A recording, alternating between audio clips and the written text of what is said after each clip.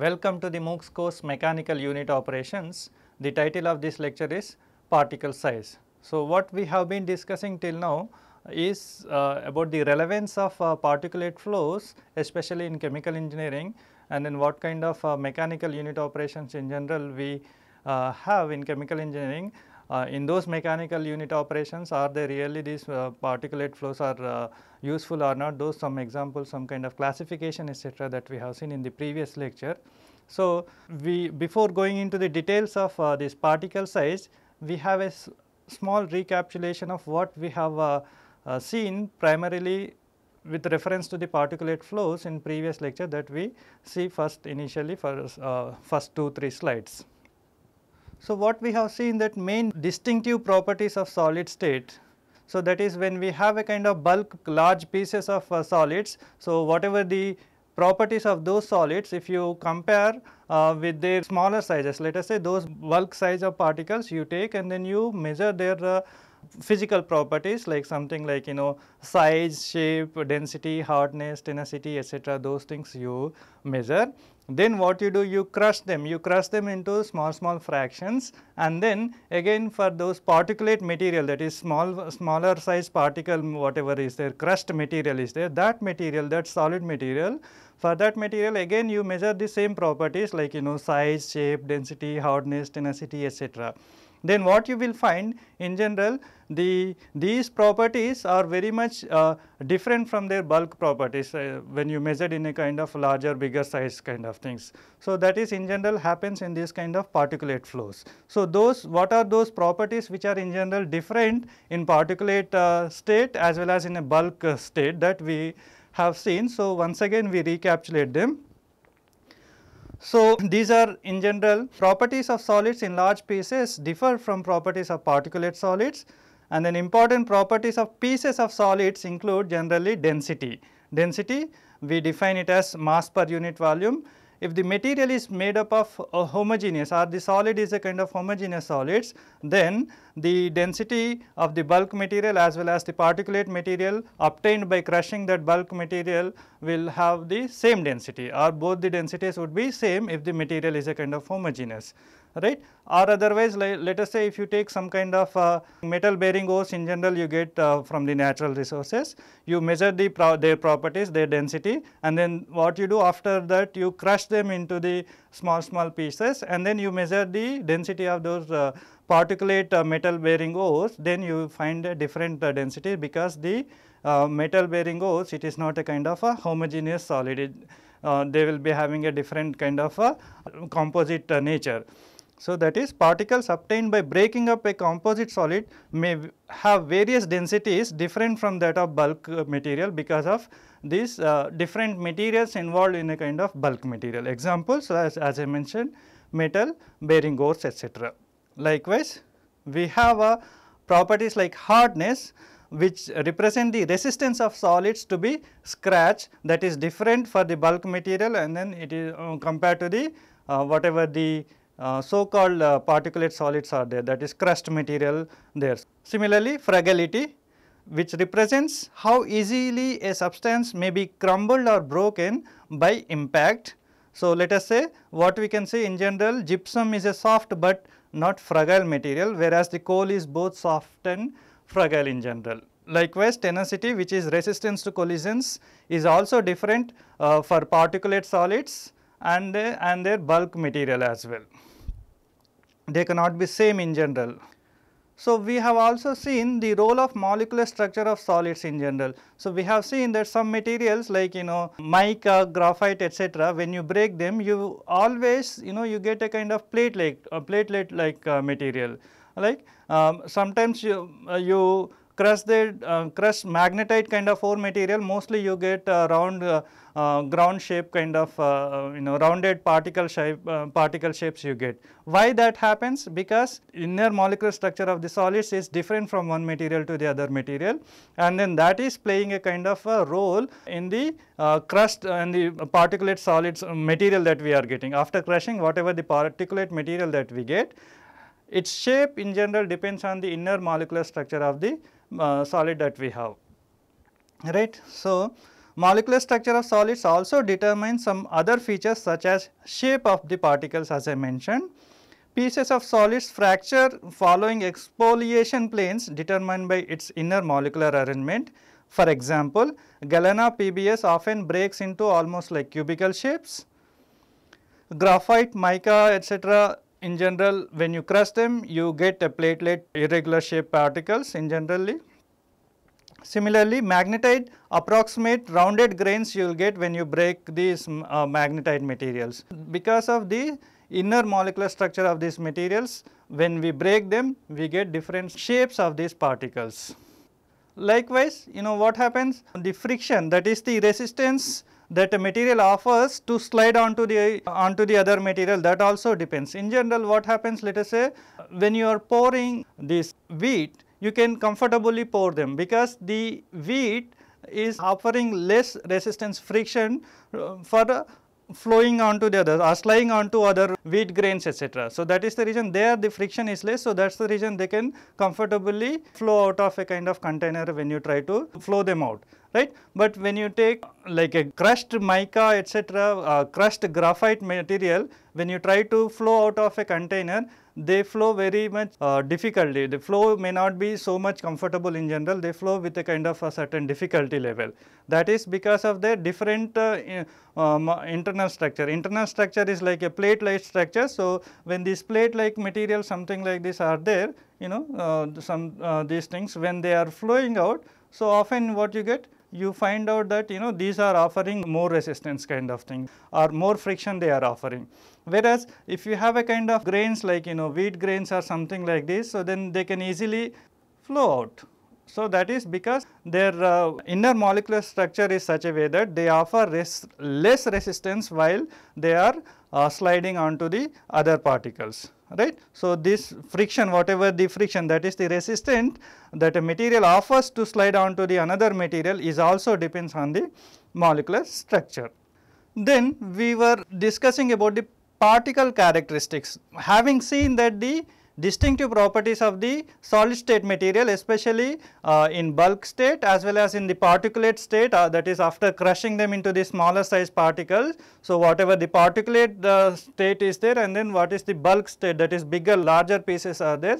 So, we have seen that the their physical properties are very much different in general especially when the solids are not homogeneous. If they are homogeneous then sometimes they may be having a kind of similar properties, but the solids in general that natural resources that we get ores etc. they are not homogeneous. So, then their bulk properties are very much different from the particulate uh, their, their particulate state when they crushed their particulate properties in the, the particulate state are very much different. Um, because in general in what happens in real life applications whether we are are we treating these solids in a given unit operation or a given unit process or taking from unit one uh, unit to the other unit for a unit operation or for a unit process whatever may be the process we in general take them in a kind of smaller sizes. We do not take them in a kind of bulk size, bigger size. Even if we are take, doing a small catalytic reaction or a combustion of a particle, coal particle, whatever we take, we do in a kind of smaller size particle. So, we break them. So, when we break them particle that becomes very much comfortable to transport also in general though it is very difficult compared to the fluid phase liquid or gases, but compared to the bulk solid phase this particulate uh, material can be easily transported or conveyed from operations to the other operations. So, the importance the that I want to emphasize that in general whether unit operation or unit process or the connecting conveying uh, lines etc the particulate materials are the solid material that we in general take in a kind of particulate form that is in a small crust form. So, that is the reason what we have whatever the particle characteristics are there we need to have a kind of clear look because these properties we are going to use in general for the characterization or controlling of any of these uh, unit operations or unit processes where these solid state materials are involved right. So, that is the reason particle characteristics are very much important uh, we cannot rely or we cannot take the bulk material properties as it is for the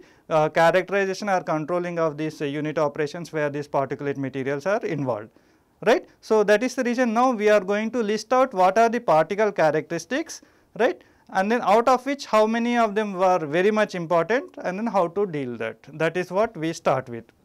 Several particle characteristics are very much important with respect to the product properties in general, but sometimes with respect to the uh, inlet feed material also several particle characteristics are very much important. What are these characteristics in general? The very much uh, important one is the size, size of the particle because let us say when you have a kind of big uh, bulk material, uh, bulk solid, when you break them, you grade them into small, small particles like this. Small, small particles like these are irregular particles and then different shape particles, all these things you get, right. So, now no two particles will have the same size in general, there may be uh, exception, but in general we have uh, when you crush this material we get millions of particles. So, then uh, each and every particle will have a kind of different size and shape in general. So, the size is the very much important one. Then is the shape also. The shape that whatever we have that also now one particle may be of this uh, this particular shape given here. Now, you can see the other particles are you know other shapes in general. The, so, the shape is also going to be very much important most important thing that we have to see that when we crush the bulk material into the small small particles uh, size then what happens the size is not uniform first of all and then we will not get the particles of uh, similar shape or uh, same shape particles will never get. Even if the irregular shape particles we get, those irregular particles will not have the same irregularity. The degree of irregularity would be different from particle to the particle. So, that is the reason size and shape are going to be very much essential right. Why are they going to be very much essential in general? Because in the transport characteristics or in the reactions where if you want where the solid material is involved or particulate material is involved, if you wanted to report the performance of a given reaction or the performance of a unit process or a performance of a unit operations or the performance of heat and mass transfer or the uh, momentum transfer or the degree of reaction associated with these particles that all you are going to represent with reference to the size of the particle right? And then unfortunately we do not have one single size. So then there are many wide uh, varieties of different size of particles are there. So then we have to have a kind of pro proper analysis about the size. And then in general shape is also not a similar for uh, one particle to the other particle. We may have a wide varieties of shapes of particles, even irregular particles, we have different degrees of irregularity. That is the reason we need to have some kind of characteristic representation of size as well as the shape that is going to be very much useful in representing any of the performance of the transport uh, uh, phenomena of this particulate material like uh, transport phenomena in the sense momentum transfer when they are uh, transporting from one uh, location to the other location along with the fluid or something like that or the, if there may be some kind of heat and mass transfer involved or there may be some kind of reaction is also involved. So, whatever is the case, so there we are going to use this kind of characteristic size and shape of the particle in general right. So, that is the reason these two things are very much essential. Then density is also very much important because we have seen uh, if the bulk material is, is not homogeneous then we are not going to have a kind of density um, particulate material of the same density right. If the material is composite material then the density uh, of the material crushed material or particulate solids that we are going to have a different densities compared to the bulk densities. Remember we are uh, just classifying the bulk material and then uh, particulate state or particulate solids that we are calling the crushed one. After crushing whatever the material that solid material is there that we are calling as a, as a kind of particulate solid right. So, for all these characteristics we are going to see for the particulate solids because we are going to use them in processes, unit processes or unit operations in the crushed form, right. So, these are the three major important properties that one should be very much careful because density is also going to play a role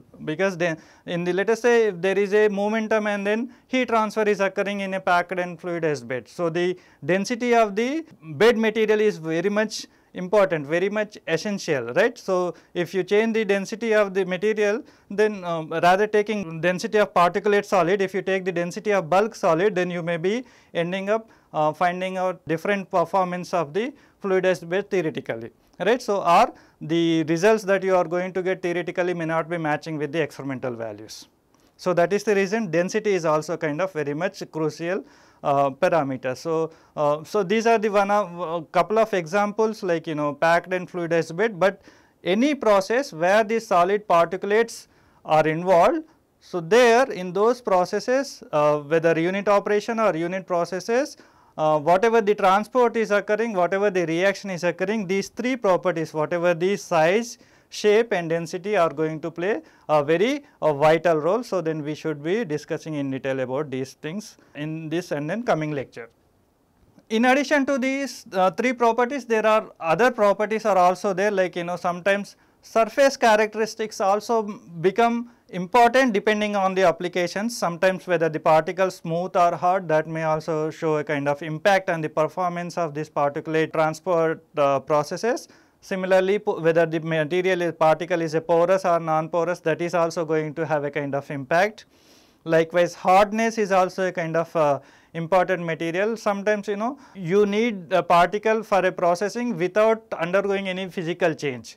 But if that material is not having that tough strength then while the process that may break down and then the physical change may occur. So, that again you know uh, cause a kind of a different a priori information compared to the uh, uh, reliable uh, experimental results. You may whatever the a priori information that you get that may not be reliable with the experimental uh, results if the material is breaking and then something like that while the process is taking place because all your characteristics you are taking with respect to some kind of one particular size. Okay. Then adsorption, adsorption characteristics of these materials especially some kind of fluids are involved along with these particulate uh, phases then adsorption may also take place. So, likewise if you keep on listing there may be several properties which may be important uh, with respect to given operation or application, but in general the size, shape and density are the three important uh, properties that one must be careful about them. So, as I mentioned why particle size is most essential or important because most of the characterization and control of particulate flows in general are connected to size. Let us say uh, in a uh, packed bed, in a packed bed uh, what you have, you have a kind of packed bed where you let us say uh, packed this uh, column with certain kind of uh, packing material right. So, now some fluid is coming in some kind of process heat and mass transfer probably taking place. Let us take only heat transfer is taking place and then that uh, fluid stream is coming out. Let us say here the temperature is Ti, outlet temperature is To and then these particulate whatever the particles are there because uh, they are at the different temperature. So, then while this fluid is coming through this uh, bed, so some kind of a, uh, this heat transfer is taking place. So, whatever the rate of heat transfer that you are going to report in general, you know that you are going to report based on the size of this particle. Whatever the packing material that you have used, that size of that particle uh, material uh, that you are going to use in representing that rate of heat transfer for this example for let us say. Likewise, uh, any fluid catalytic cracking reaction is there in let us say petroleum industries. What happens where the catalytic particles are there and then the crude uh, petroleum uh, uh is given inside the FCC unit then uh, some kind of uh, reaction goes in and then you take the different fractions of products as uh, kerosene as one fraction and then uh, benzene, toluene other kind of things are other fractions and all these kind of things are happening in general. But the performance, the output results that you are going to report in general you report based on the size of the catalyst of that particle right. So, that is the reason size is a kind of very much important. These are the only two examples, but any operation where these particulate solids are involved as I mentioned you know you report their performance based on the size of these particles. So, that is the reason particle size is very much essential. Then size, which size should be taken?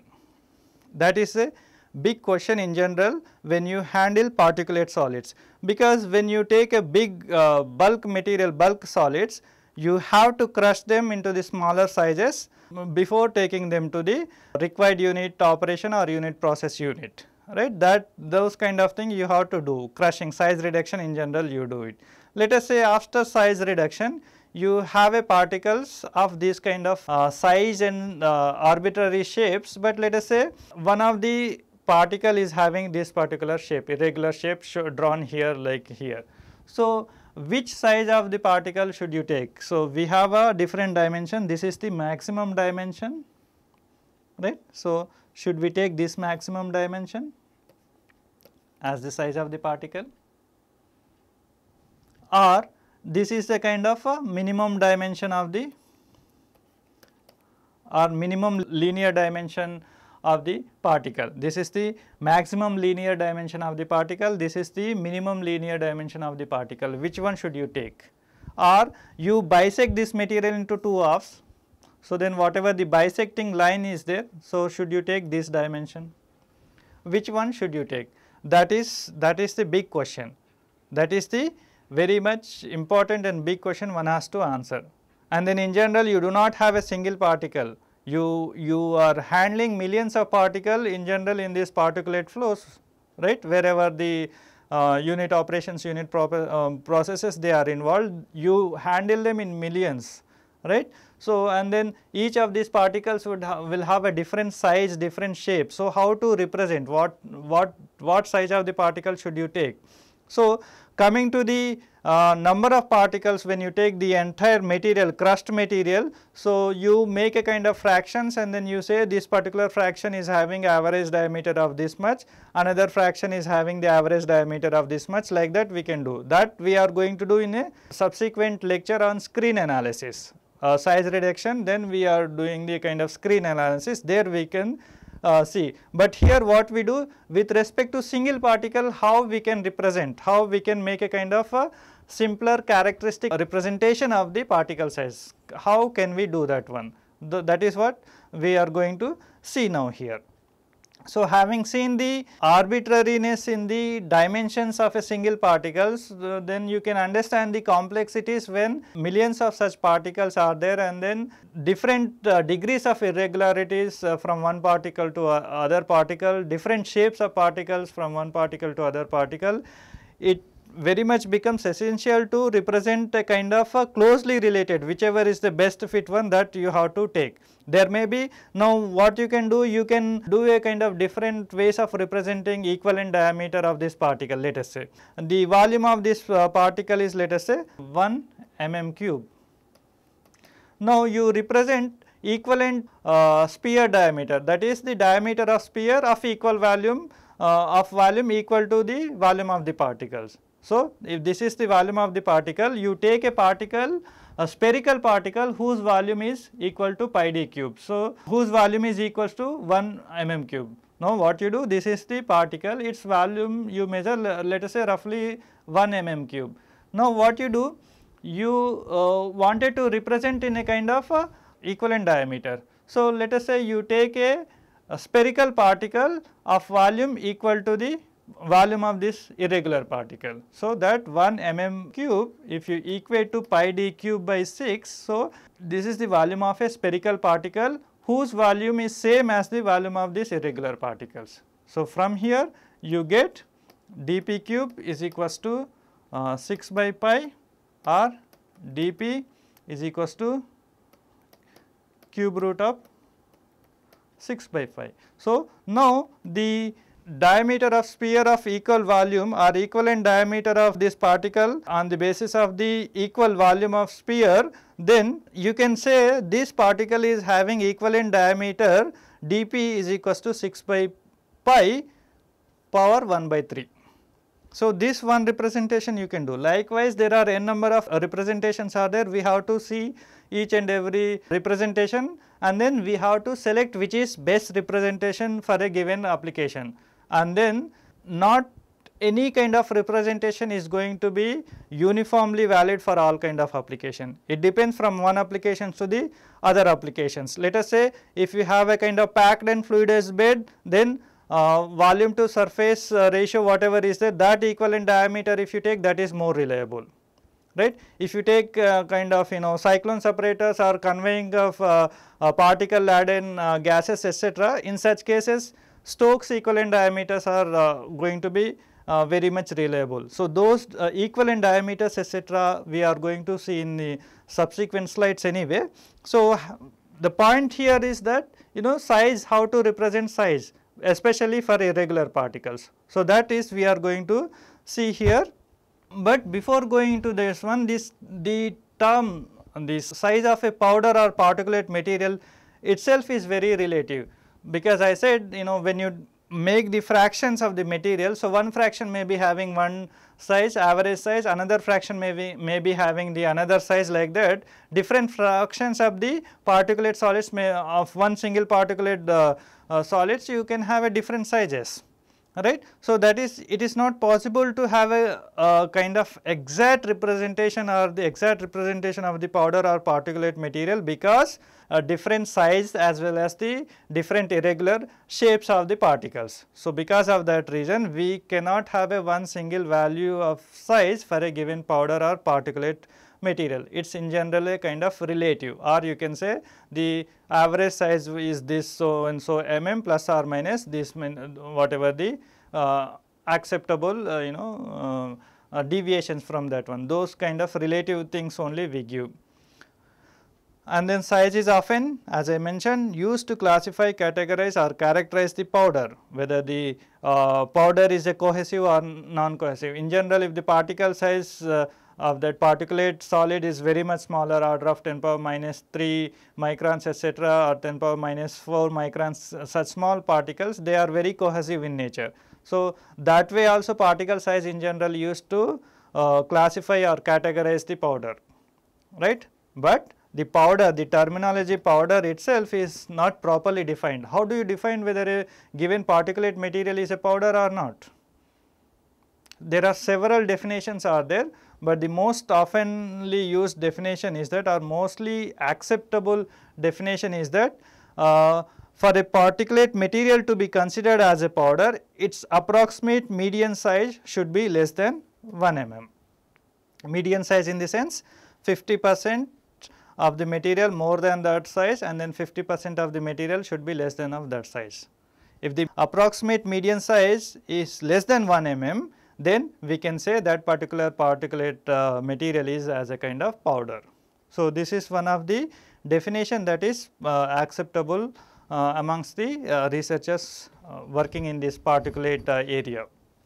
Now, powder or particulate material in general is also characterized as fine powders, medium powders and then coarse powders. These, these are a kind of relative characterization in general coarse particles we measure in, uh, in uh, centimeters or uh, millimeters and then fine particles in general measure in, in terms of screen size that we are going to see in subsequent lectures anyway, screen analysis uh, lecture that we are going to discuss later on in detail. And then if the particles are very fine in general we report them as in terms of you know uh, micrometers or nanometers something like that. Now, size of typical powder products, what we do? We take a few examples, rather examples, we take a few products which are in the powder form and then what is, what is their uh, general, in general size of those uh, powder products, that is what we are going to see here. What we have, uh, let us say uh, pelleted products like crystalline industrial chemicals etc., they in general have the order of 10 power 5 microns whereas the granular fertilizers, herbicides, fungicides in general they have order of 10 power 4 micron size, whereas the granulated sugars spray dried products in general have the order of 10 power 3 microns. On the other hand, detergents may be having the order of 10 power 4 to 10 power 3 microns in general. Likewise, powdered chemicals, powdered sugar, flour etc. have the order of 10 power 2 micron size in general. This is the average typical size of the uh, material, it, it is not of the one single particle. So, likewise other, other uh, products, uh, powder products like toners, powder metal, ceramics etc. have the size 10 power 1 microns. Electronic materials, photographic emulsions, magnetic and other pigments in general have the 10 power 0 micron, order of 10 power 0 microns. Organic pigments in general have the order of 10 power minus 1 uh, micron size whereas the metal catalysts, carbon blacks etc. have the order of 10 power minus 2 uh, microns. On the other hand, fumed silica in general have the order in between 10 power minus 1 to 10 power minus 2 microns. So, these are the some of the powder products in general we see in industry as well as the uh, regular uh, use. So, their respective sizes are given here just for a kind of knowledge uh, to have information about the size of these powders.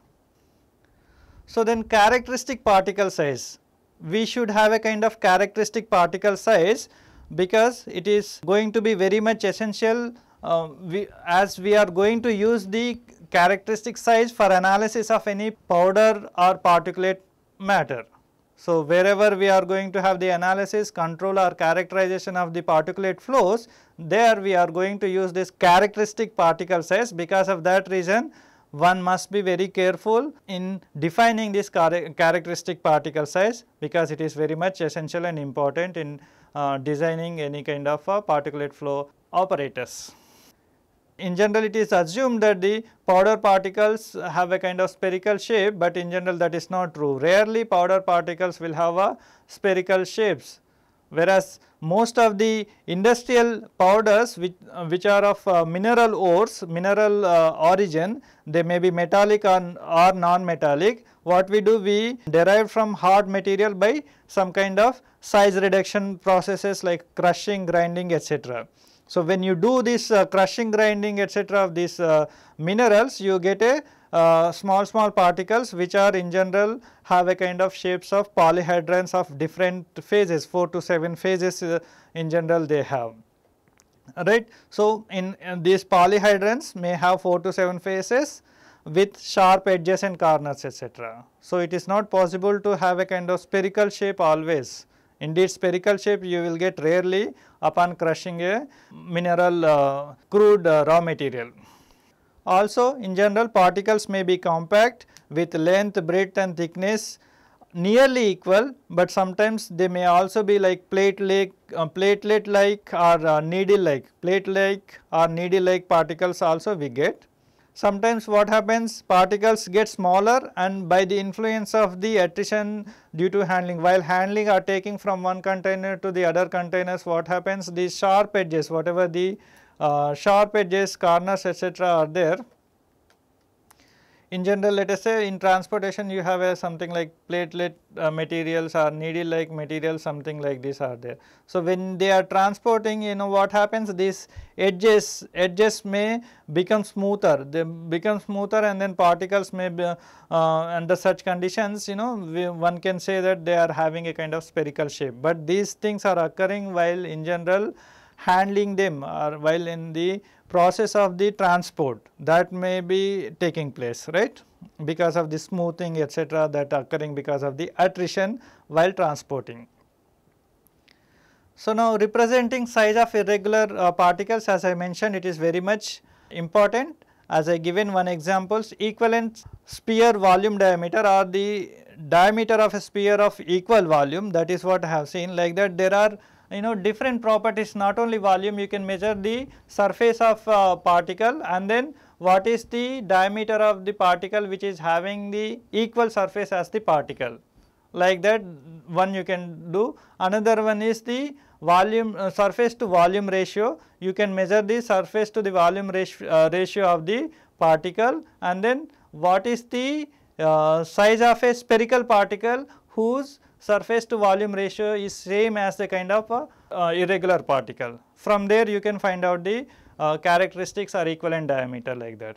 So, like that there are several properties you can compare and then take the equivalent diameter right. Why we take spherical? Because spherical is easy to handle and in uh, analysis also it becomes very easy to uh, do a kind of calculations etc. So, that is the reason we take a kind of a spherical shape of the particle or equivalent sphere diameters in general we take. So, equivalent sphere diameter also there are different properties several properties are there that you can compare. For example, let us say equivalent property of a sphere. So, that is volume diameter that we call volume diameter or equivalent volume diameter of sphere where we compare the volume as I mentioned let us say one irregular particles of this shape is there. If its size is uh, let us say 1 mm cube, you find out a spherical particle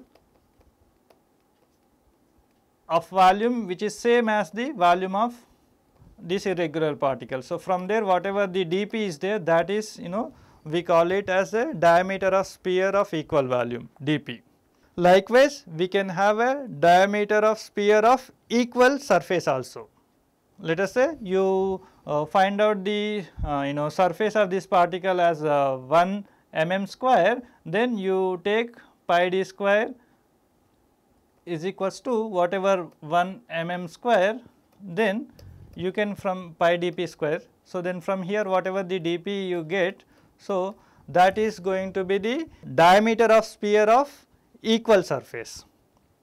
So, that is this one. So, you can compare any equivalent property of a sphere like that. You can compare volume, you can compare the surface of the particle, you can compare the surface to volume ratio like that different possibilities are there right. If you compare you know uh, sphere to uh, surface to volume this thing then pi d square pi dp square by pi dp cube by 6 is equals to whatever the let us say surface to volume 1 mm inverse is there. So, then from here whatever the 6 by dp is 1. So, from here dp whatever is that you get that may be taken as a kind of a surface volume ratio right. So, likewise you can have a surface volume ratio also. So, basically in this equivalent representation equivalent sphere diameters what are we doing? We are measuring either the volume or the surface or the surface to volume ratio etc. of a particle and then equating to a spherical particle whose volume is equal to the particle volume or whose surface is equals to the particle surface like that we are doing in general. Okay. So, equivalent sphere diameters, the diameter of a sphere which would have same property of the particle itself like you know same volume, same settling velocity etc. We are going to take a few examples also how to calculate equivalent sphere diameter uh, when we take the volume as a kind of property right. So, this is how we can do. So, other way is that surface volume diameter where we, we compare the surface volume ratio or the surface volume ratio of the particle you measure and then you find out a spherical particle of size certain size whose surface to volume ratio is same as the uh, irregular particle surface volume ratio. Likewise, drag diameter in a flowing stream you insert this particle and then that particle may be offering some uh, drag uh, resistance force to the flow. So, whatever the drag force is there that you measure and then at the same velocity you now insert spherical particles and then you measure the drag force. So, different particles you have to insert and then see uh, which spherical particle is offering same drag force as the irregular particles. So, corresponding size of that spherical particle should be taken as the equivalent drag diameter like that one has to do. Then free falling diameter is the uh, one. So, free falling speed in the same liquid at the same particle density. So, that is you let us say you take a particle in you settle it in a water. So, what is the free settling velocity of that irregular particle that you measure. Then you take a different size of uh, spherical particles you drop them in the, the same conditions and then you measure the settling velocity of each and uh, each spherical particles. Different spherical particles you have to do uh, with a kind of uh, one after other one right. So, whichever the spherical particle having the same settling velocity as the settling velocity of the irregular particle, then the size of that spherical particle would be taken as a kind of free falling diameter, equivalent free falling diameter. If the free falling speed is under the Stokes law rhythm, small Reynolds number rhythm, then the Stokes that should be called as a Stokes diameter. Likewise, we have the sieve diameter. We take a kind of uh, sieve where the square apertures are there. So, whatever the passing through material is there, we take that uh, same square aperture as the kind of size of that particle. So, this anyway we are going to do in the size analysis, uh, screen analysis in the later course. So, this is how one can represent the equivalent sphere diameters. Equivalent sphere volume diameter, this is equivalent sphere volume diameter, this is equivalent sphere surface diameter, this is equivalent sphere surface volume ratio diameter like that all other diameters right. So, but which one is reliable that we cannot say we are going to discuss that anyway. It is going to be different from one application to the other applications we cannot generalize them. Likewise, equivalent circle diameter also defined the diameter of a circle which would have the same property of the projected outline of the particle. Let us say projected area diameter, if the projected area of the particle is resting in a stable position, then projected area diameter on the other hand, if the particle is randomly oriented, then perimeter diameter that is the perimeter of the outline of the circle that we have taken. So, like that equivalent circle diameters are also possible. All these things we are doing for a single particle. So, single particles, so the best one is that you know statistical diameter because obtained these things are the obtained when a linear dimension is measured usually by microscopic parallel to a fixed direction. You uh, orientation you fix and then for that fixed direction you measure the uh, linear dimension of that particle using the microscopy. So, this is going to be very much reliable fine very good, but this is valid only for single particles because in real life applications you have a large number of particles. You cannot keep on measuring the size and shape of each and every irregular particle using the microscopy. In real life applications we are going to have huge number of particles. So, under those conditions it is not possible to find out these size of each and every particle though it is very much reliable. It is good as long as you know you are handling a single particle kind of thing. So, under statistical diameter also there are uh, different uh, linear dimensions are possible because we are measuring parallel to a fixed direction. So, different linear dimensions are possible for a given irregular particle. So, one is the Feret's diameter that is the distance between two tangents on opposite sides of the particle, then Martin's diameter, length of the line which bisects the image of the particle, then shear diameter, particle width obtained with an image shearing eyepiece, then maximum chord diameter, maximum length of a line limited by the contour of the particle. Now, having seen these many equivalent representations, how to make a selection of diameter of a regular particle, which equivalent diameter should we use? That is again big question, we cannot generalize in any way. Out of the aforementioned uh, diameter, most relative measurements would probably statistical diameters because they are directly determined by the microscopy. This is good for single particles, only few particles but not laborious, we cannot uh, do for huge number of particles are involved in the process. However, for a, any given particle, Martin's and Feret's diameter, whatever the statistical diameters that you find, whether the Martin's diameter or Feret's diameter, they in general can be very much different from each other. After all, they are linear dimensions of a given particles. They change from the fixed position. You are keeping one fixed position, you get some values. When you change the fixed position, location, uh, direction, you change, then you may get the different uh, uh, dimensions even because they are linear dimensions with parallel to fixed direction right. So, Martin's and Feret's diameter could be radically different from each other that we are going to show pictorially anyway. Also they are different from a circle of equal perimeter or equal area. So, that also we can see. But in practice most of the equivalent diameters will be measured indirectly to a to given a number of particles taken from a sample. So, equivalent diameters will be measured indirectly actually we do not measure each and every particle diameter like that. So, that we are going to see here this particular thing in a kind of screen analysis. Therefore, it would be most practical to use a quick maybe less accurate, but quick on large number of particles than a very accurate measure on a very few particles. Though the statistical measurements are very accurate, it is not a good practice to depend on the statistical measurements especially when large number of particles are involved. So, when large number of particles are involved, so it is obviously better that uh, you may have a slightly less accurate, but you wanted to have a kind of quick measurements. Those things that is what we are going to do in screen analysis. Now, why I said that you know uh, making a selection is very much difficult because here now this particle, this is the particle shape outline I am outlining here again, right. So, here this is the maximum linear uh, dimension and then this is the uh, minimum linear dimension, minimum linear dimension and then here this is maximum linear dimension and uh, this particular thing whatever this dimension is given this is nothing but Feret's dimension and then whatever this one this that is the bisecting the material this dimension is there that is Martin's dimension.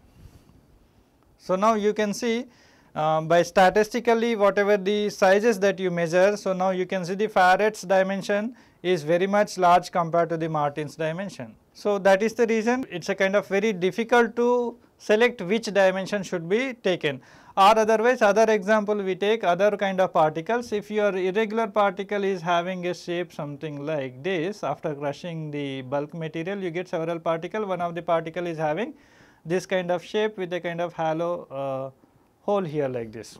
Now this irregular particle if you are going to uh, define a diameter, diameter of a sphere of equal volume then you may get the size of this one then you define diameter of a sphere of uh, equal surface then you get that is you measure the surface of this particle and then you find out a spherical particle whose surface is same as the surface of this particular then you get a bigger size uh, like this.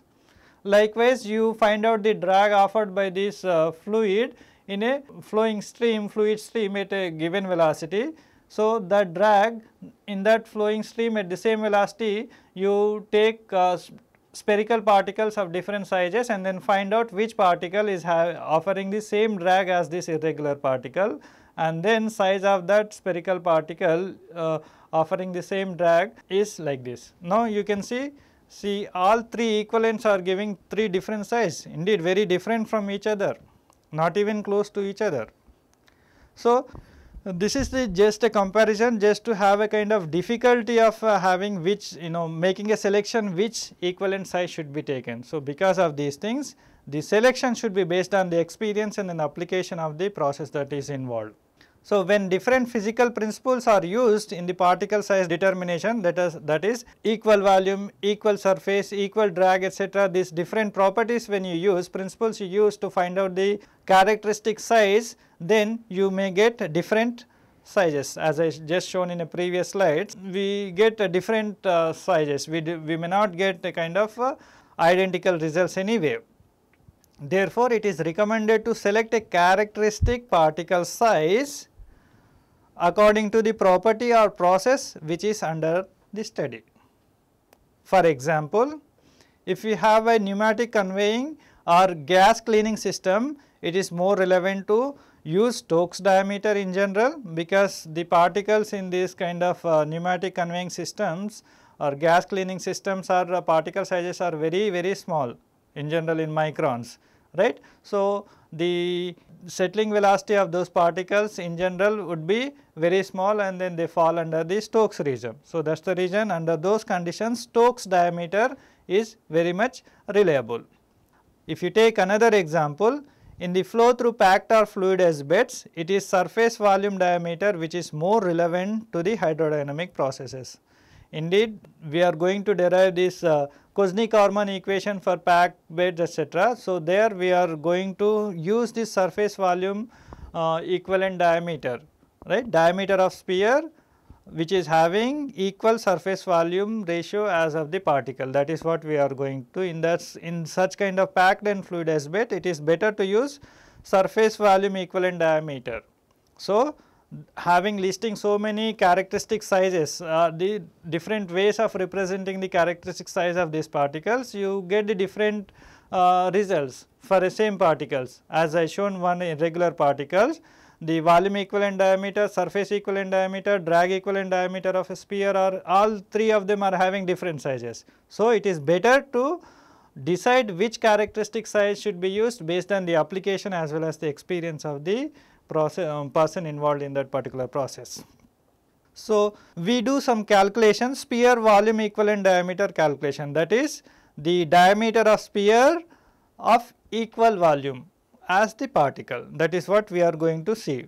Now, let us say if the particle shape is spherical then volume of the particle is pi d cube by 6. So, equivalent or nominal diameter dp we are going to find out.